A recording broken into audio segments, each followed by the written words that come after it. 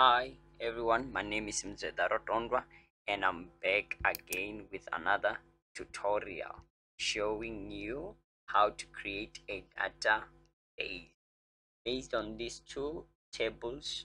We are continuing from the previous one. If you haven't seen the previous one, go and subscribe to my channel so that you can be notified and you also get to see what I did on the previous tutorial. And if you like this one, just click like button now here we are dealing with two tables, department and also employment table.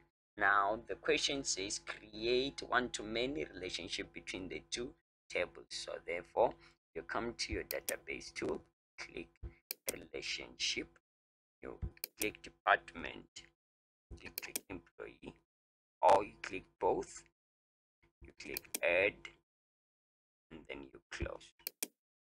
Now, if you check your question paper, it says you, your relationship should be enforced referential integrities and also employee can therefore belong to only one department while the department must have one or many employees assigned to it.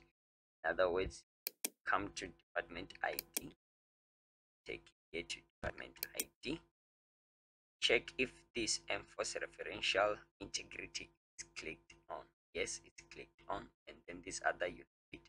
If you check the relationship type down here it's written one to many relationship as your question paper stated.